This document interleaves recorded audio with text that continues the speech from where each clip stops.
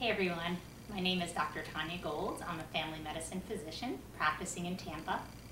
I thought it'd be a good idea to share some information about myself so you can know me better, as well as share my philosophy on health. I guess my uh, philosophy on health stems from my father. It um, started when he was in his mid 30s. I was 10 years old at the time and he was uh, suffering from being overweight and having very high blood pressure.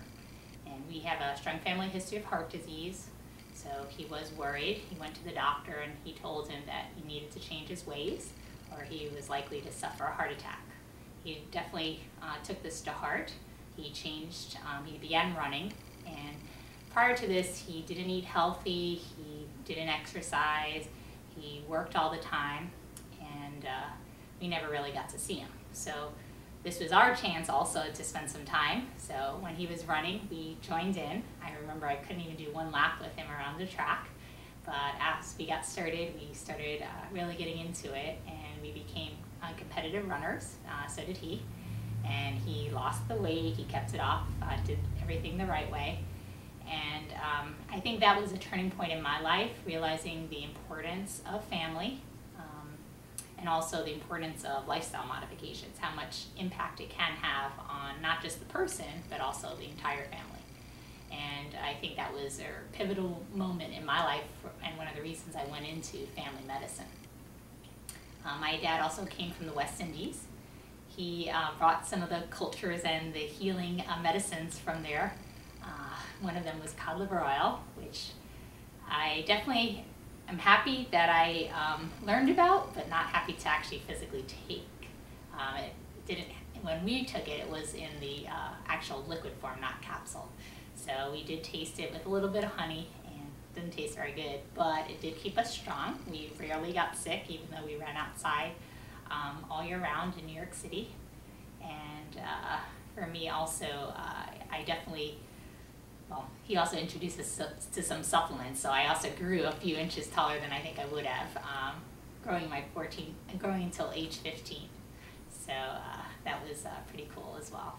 But the energy, the um, family bond that we built together through running and goal setting, I just learned so much and uh, definitely wanted to uh, pass that on to um, my future generations and my patients. So I think, again, my philosophy on medicine uh, got molded from that, that point my holistic view.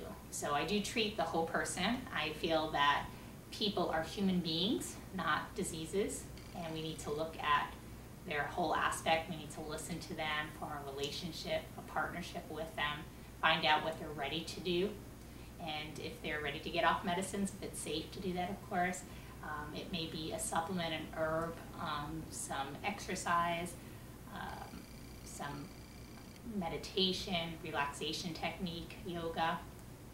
So again, finding the right treatment for the patient. And the only, only way to do that is speaking to your patient, listening to them, hearing their stories. And that's one thing I love about family medicine because it is a journey. It's a relationship built over um, many, many visits, uh, many years and you get to meet their families a lot of the times. So for me, that's uh, very sacred. I definitely think of it as a privilege to be a family medicine physician. I know medicine is evolving at this time. There's a lot of uncertainties, but we definitely uh, need to uh, realize how important that doctor-patient relationship uh, truly is. And um, I look forward to working with you. I also uh, teach yoga so if you'd like to visit me on my website, it's tampaholisticdoctor.org. And have a beautiful day. Take care now. Again, this is Dr. Tanya Gold.